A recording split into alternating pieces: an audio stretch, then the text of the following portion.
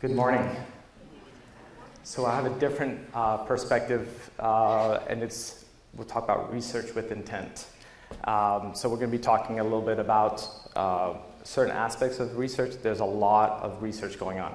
So I only have a certain amount of focus today that we've talked about, but I can assure you there's so much going on in the field.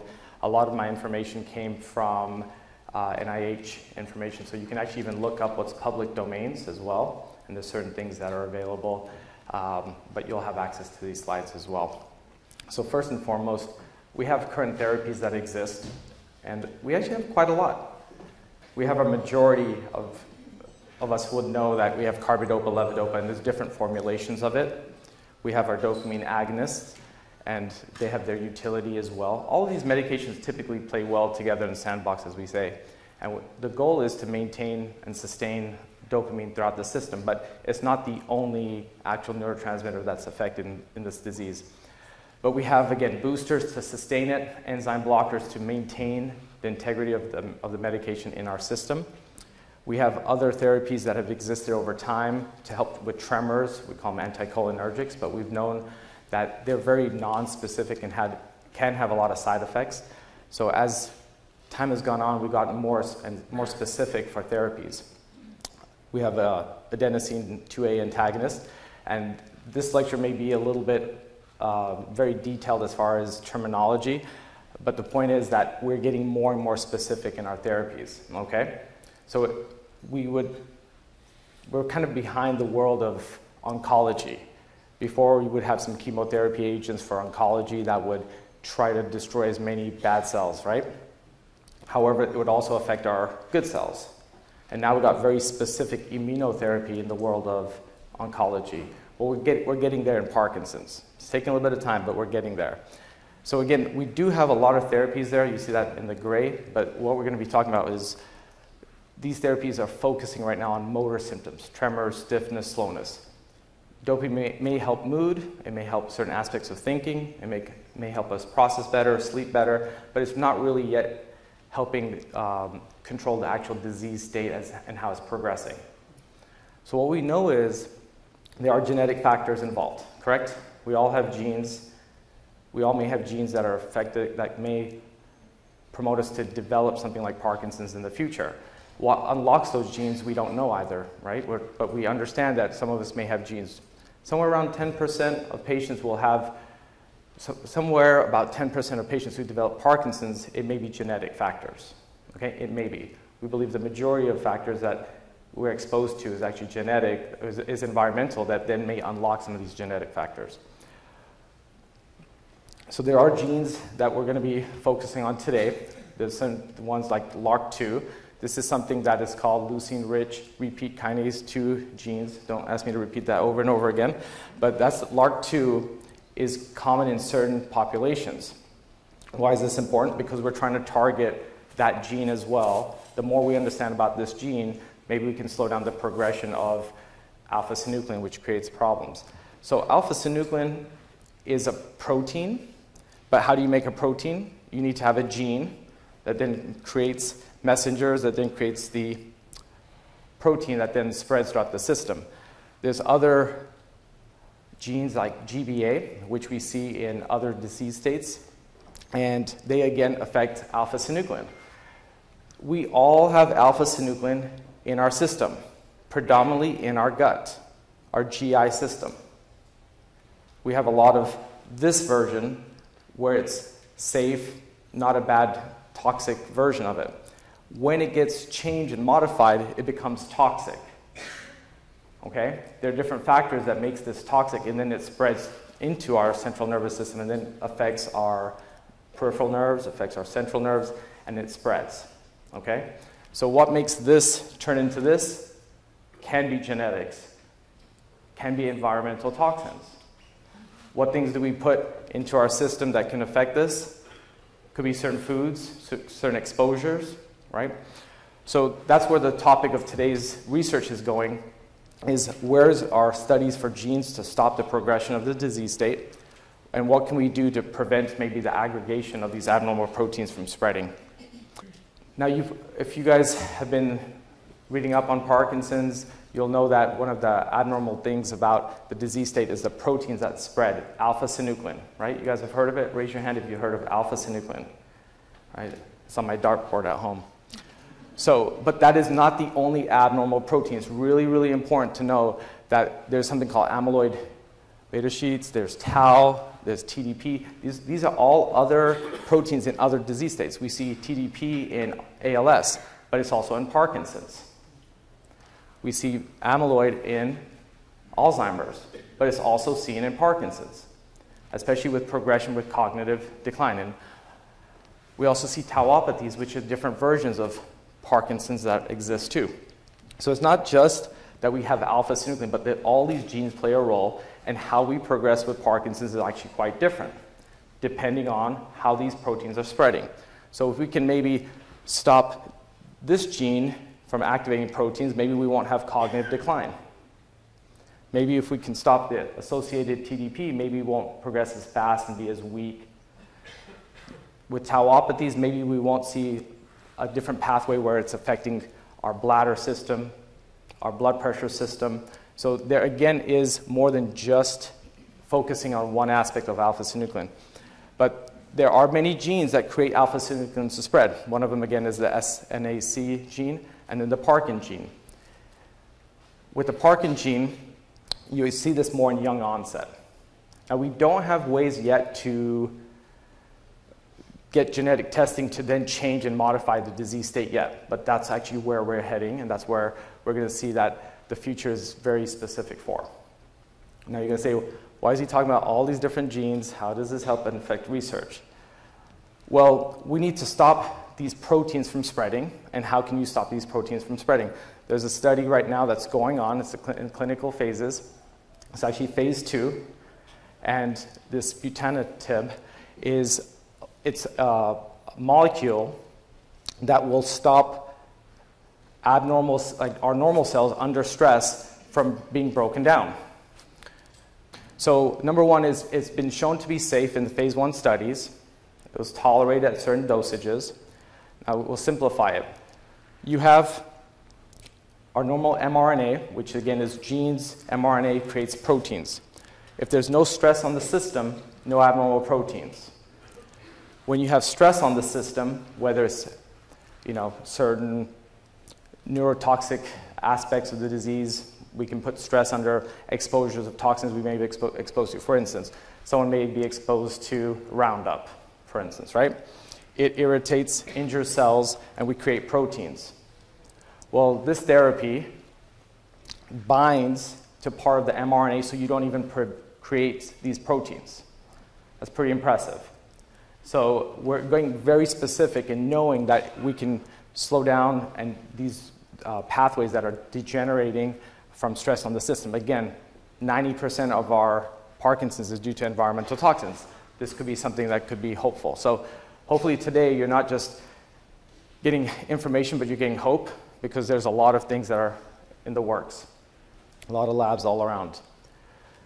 There's a medication that works on vasospasms. We don't have it available here in the US, it's been in Japan.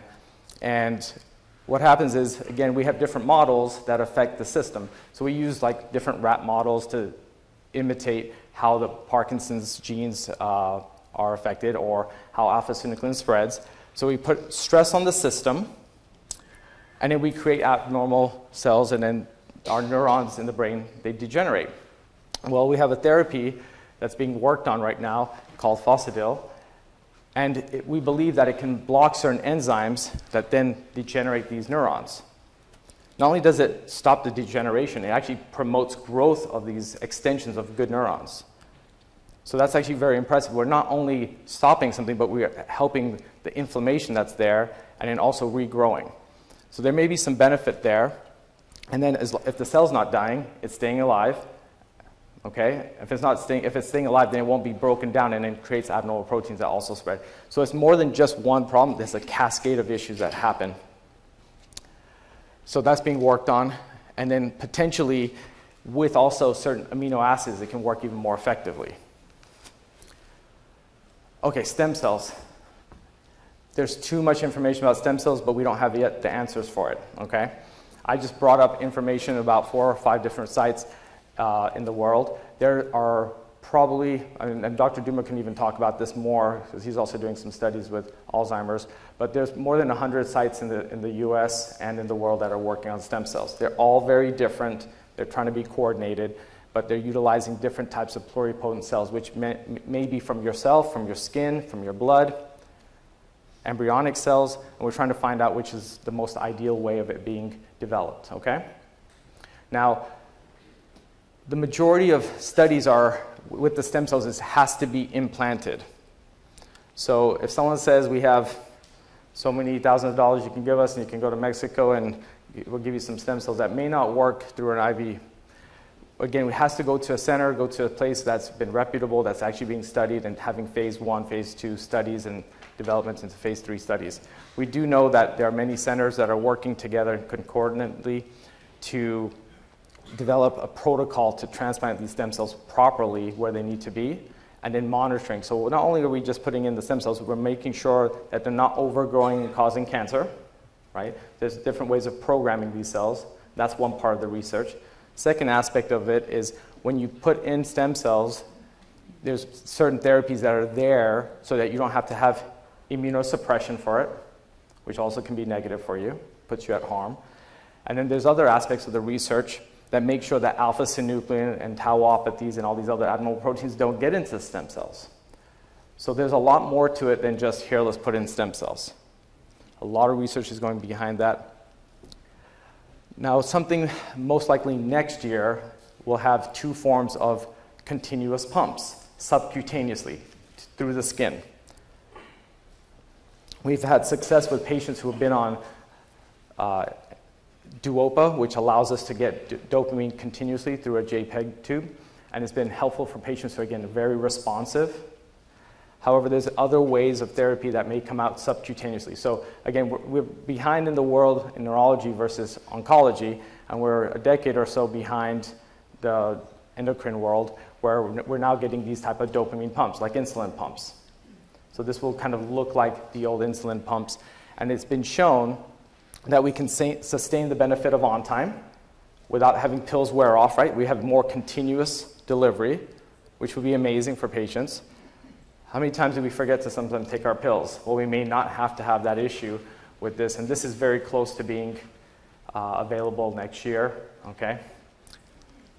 And then along with there's another uh, levodopa uh, form that will be potentially available next year as well. The other clinical studies is looking at non-invasive ways of, instead of putting in a deep brain stimulator, um, which we know can be extremely therapeutic for motor symptoms. And instead of using focused ultrasound to reduce tremor, there's other studies that are working on what's called transcranial magnetic stimulation, TMS. You may have heard of this in the world of depression, but this is being studied in the world of Parkinson's for what's called neuroplasticity, to keep things working efficiently. Okay? So maybe we can't stop a disease state, but we can make the neurons work more efficiently. It's kind of like exercise for the brain, but there, there is some stimulation that's provided. It's on the core, it's on the, on the skin, and it delivers a type of therapy that again should help the subthalamic nucleus and certain parts of the cortex the, the way that they're looking at it is it may help with gait initiation, it may help with reactive balance, it may help with slowness of movement and potentially rigidity. Ambroxol. So this is a medication that is used for clearing your sputum. Okay, now it's not available here in the US. A lot of things aren't available in the US. You can't get it on Amazon. So this again is uh, important because we talked about genes earlier. One of the important genes is GBA. And that type of gene, when it unlocks its proteins, it causes a spread again. But we may be able to stop those proteins. Where the, it causes a problem is in the lysosome, which is the clearing agent, kind of the trash can of the system that helps clear out abnormal products within our cells and neurons. So Ambroxol has been shown to maybe slow down that aggregation of abnormal proteins, specifically alpha-synuclein. And there's pretty good data that came out from phase one from safety and phase two being in the works as well. Uh, this is being studied quite a bit right now in Europe. And so, as far as a disease modifying agent, this may be something that may be useful. So, we may not cure the disease, but we may slow down aspects of it, which would be pretty impressive. Okay, so next thing is deep brain stimulation. We already have deep brain stimulation, but we're getting more and more efficient ways of utilizing it. So, we know where to implant the leads. It works very effectively for those that are great candidates. They're getting smaller devices you don't have to even have necessarily the battery on the chest wall anymore and deliver the stimulation. It, it's going to be under the skin near the skull aspects, and then this, it's a shorter area, so there's less, less issues of infection, less issues of potential lead breaks. But what's more impressive is it's called a closed loop system. So we can, right now, there is a company that's available that can sense the brain waves right now. And with that sense, sensing of brainwaves, you can tell when there's active signals showing that you have tremor or stiffness or slowness. And then you can then stimulate that area. So a patient comes into our clinic, we're able to, for those patients with that DBS, we can actually look at their brainwaves. We can actually tell when someone woke up. We can actually tell when they're having more symptoms throughout the day. And then we're able to change the stimulation pattern to then suppress those abnormal signals. Okay? Now, what's going to be really impressive is we don't have to do that anymore. We can just set parameters, and then the stimulator will see those abnormal signals and then, and then allow for signaling to be increased. And then when you go to sleep, it just reduces the power so it doesn't have to work. And then when you wake up or you have certain aspects of your day that the signals are there, then it can help with, again, turning on. So it's pretty impressive. It's called closed loop DBS. So this is effects of fecal microbiota transporting. Our gut has a lot of healthy bacteria. As the disease progresses, we may have changes in our gut pathology. Well, we do. I shouldn't say we may. We do have changes in our gut. Who's here had some antibiotics in the last year? Right? Antibiotics are pretty prevalent and they may kill our own gut lining. I know we need it for certain aspects, but it can also kill our gut lining. Time and accumulation, maybe we have abnormal growth of bad bacteria as opposed to our good bacteria. So when we take antibiotics, we may kill it. There's studies that are shown that in Parkinson's disease, we have certain probiotics, so to speak, certain types of enzymes that are there that get destroyed or reduced. And we can maybe take probiotics that still being researched as to what's the ideal aspect, but it's becoming more individualized. There's companies out there that actually are doing research to say you're low on this specific type of enzymes, you need to have this type of tablets or probiotics. Versus another company, another company may say, okay, well, you send us our stool sample, your stool sample, and we can see where you're having deficits. Okay, but this is the real world, and you can actually then there's studies that have been shown, are being worked on right now with Parkinson's to see if you can get healthy bacteria from stool samples that are then implanted into the GI system and see how it changes mood, sleep cycles, absorption of nutrients, as well as our medicines. So, this is already existing for people who already have had problems with antibiotic resistance and developing other bacteria that's grown. So, this is being studied right now in Parkinson's, and there's a lot of good evidence that's come out of it. The other aspect of study is tributyrin, it's seen in margarine and butter. So it works as uh, helping develop more short chain fatty acids into our GI system, which is again very healthy for us. It allows for keeping the integrity of the blood brain barrier. It allows for regulation of the GI system. It helps with pro inflammation. And it again allows for neurotransmitters to maintain their integrity. So there's something about small chain, how you eat and what you're eating, and how that helps your GI system, but very specifically small chain fatty acids. And this is being studied, uh, it's a small pilot study that's being studied uh, to see if it can help with disease progression. Dr. Bixby talked about certain SSRIs, serotonin specific reuptake inhibitors, which are part of management with depression and Parkinson's disease as well. Well, there's a study that's going on with one of them called citalopram and it's compared against placebo, and it's looking to see how it affects the visual cortex pathways of the brain.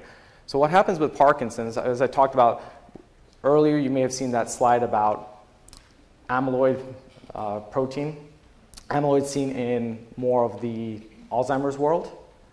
As Parkinson's disease progresses, yes, we get motor symptoms, but we also get cognitive issues, right? We're slowness in processing. We may misinterpret things that we see in the visual cortex. That's not affected necessarily by dopamine pathways, but serotonin pathways. So this research is working on to look at how serotonin affects cognitive processing, and it may help starting this maybe earlier to reduce the risk of mild cognitive impairment developing. As far as non motor symptoms for sleep, for energy, for, for uh, reducing daytime sleepiness, uh, that is looking at bright light therapy, and again, different frequencies that we can utilize and when to utilize it and how effective it can be for helping with, with depression, again, with sleep. So this is being studied actually in numerous, numerous sites around the world. Uh, I think this could be very helpful for certain aspects as, as opposed to needing more caffeine or Adderall or whatever we may give. Something like this may help with daytime sleepiness. And then riboside, so nicotinic riboside. So this is vitamin B, B3. I don't want you guys going out and just buying all the B vitamins right now. But but this is a study that's working on B3, and it's looking to see the dosage that can be beneficial and can help in the cerebrospinal fluid in reducing abnormal alpha synuclein.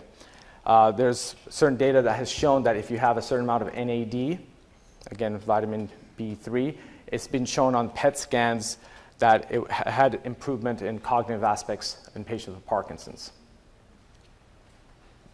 This, is, this doesn't have a name to it except for a number, R07. We'll leave it at that.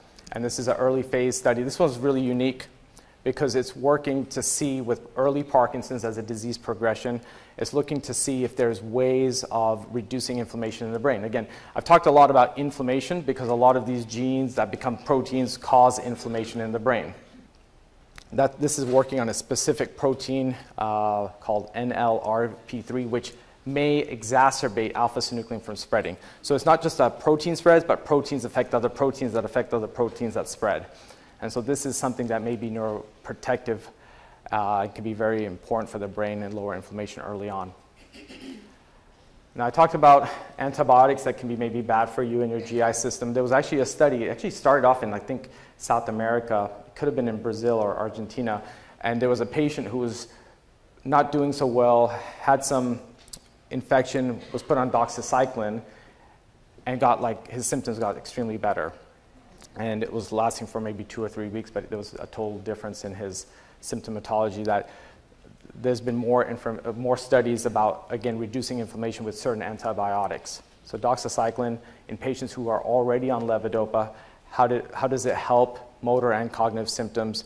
And patients are then followed up four to eight weeks after, and depending on how they look. And there may be, again, anti inflammatory pathways that are maybe protective, not just in the GI system, but may affect how it gets to their brain.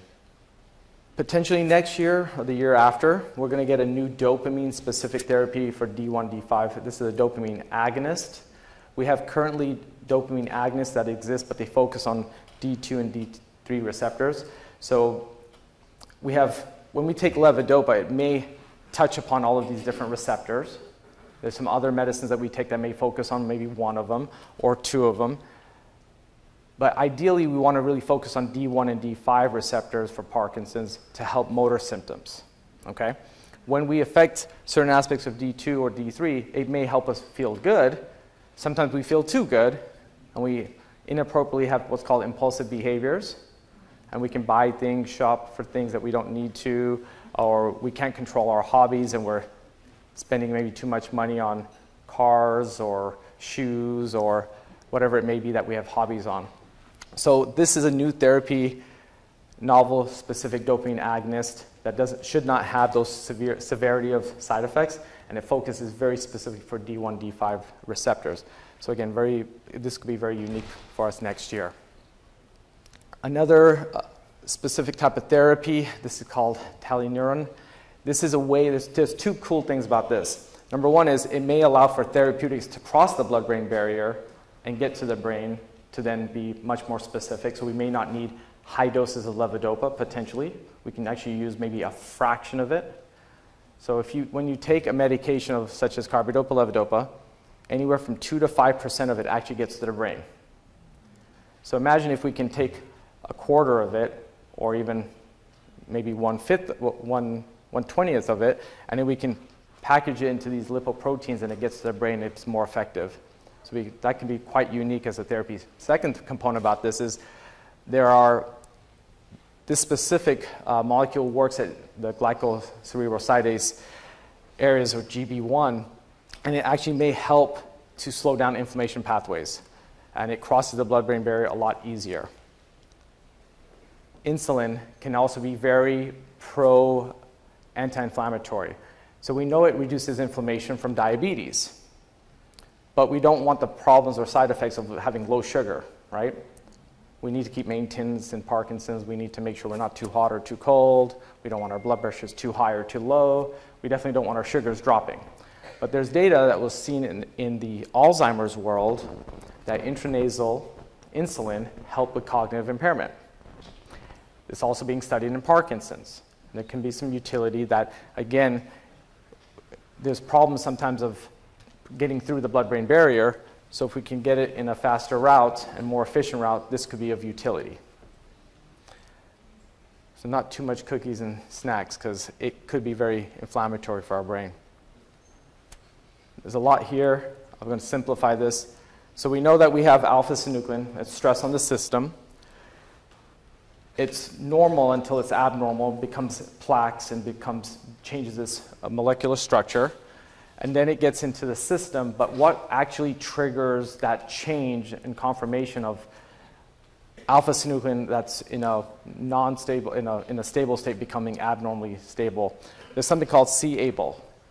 Okay, it's a protein, it's a sentinel protein that, that's in your gut. It's a scavenger protein in your gut that then creates alpha-synuclein to spread past the blood-brain barrier and it gets to the brain. Okay, so it's not, again, simple as just one abnormal protein. It's proteins that affect proteins. So there's a study that's out there, IKT, and it's an oral medication. It's a c-Abl tyrosine kinase inhibitor. And the way it works is it stops that c-Abl protein from, from uh, reaching, let's say, uh, the alpha-synuclein. And if it, if it can stop it from reaching alpha-synuclein or prevents the uh, connection of that, it cannot allow for the pr- progression of symptoms. So they did this in a mouse model, and what they did was they gave mice uh, toxic levels of alpha synuclein, and they showed that if you didn't give this medication to block C alpha, C, um, sorry, c-Abl, then you had abnormal protein developing. When you gave different doses of it, it blocked the change of alpha synuclein spreading throughout the system in the rats. And then the rats were able to move, or mice were able to move faster. So it's very direct, and that's pretty unique because there's two major studies. One, this one's in Korea, but there's other studies also going on. And this one's really unique because many years ago there was a study called nilotinib. It was for cancer, and it worked specifically on the c-Abl protein but it had some side effects. It didn't really pan out the way we wanted in Parkinson's disease, may have caused maybe some other issues. Well, this is similar to that, but a little bit more specific and may have a better duration of effect with less side effects, and it could be helpful in reducing c-Abl, and that may again slow down the progression of disease. So hopefully that was enough information, sufficient information, not too much information that your head's spinning. All right. But that's, that's, the, that's the research for now that I can talk about.